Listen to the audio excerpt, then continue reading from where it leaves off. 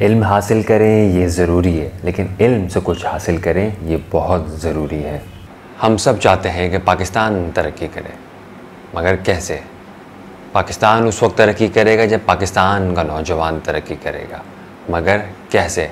पाकिस्तान के नौजवान को चाहिए कि वो फजूलियात को छोड़कर इल्म की तरफ़ गामजन हो जाए। जब पाकिस्तान का नौजवान तरक्की करेगा तो पाकिस्तान भी तरक्की करेगा। इसीलिए हम सबको कोशिश करनी चाहिए कि उसका रिश्ता इल्म से जोड़ दिया जाए। मिसाल के तौर के ऊपर एक किताब है थिंक एंड ग्रो रिच। इस मुसनफ़ ने 20 साल लगाए और 500 से ज़्यादा लोगों से इंटरव्यू कलेक्ट करके इस किताब को लिखा है।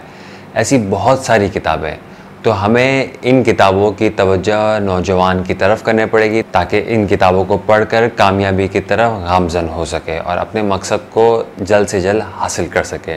इसीलिए हम कराची रीडर सर्कल ने एक अज़म किया है कि हम इस पैगाम को कराची के नौजवान तक लेके जाएँगे। तो इसीलिए इसीलिए हमने एक स्कूल का इंतखब किया और वहाँ पे जो है वह हमने 50 से ज़्यादा किताबें तोहफे में दी और उन 50 किताबों में से जितनी ही हमें सख्त थी कि हमने उन किताबों का तारुफ भी उनसे करवाया कि ताकि वो किताब, अगर ये किताब लेके अगर वो किताब पढ़ना चाहे तो वो आराम से उसका मौजू का इंतखब करके वो किताब पढ़ सकते हैं। अगर आप हमारी इस तहरीक के अंदर जुड़ना चाहते हैं और कराची रीडर सर्कल में ज्वाइन होना चाहते हैं तो आप हमारे व्हाट्सएप और फेसबुक ग्रुप को भी ज्वाइन कर सकते हैं। वो हमारा व्हाट्सएप और फेसबुक का ग्रुप है कराची रीडर सर्कल।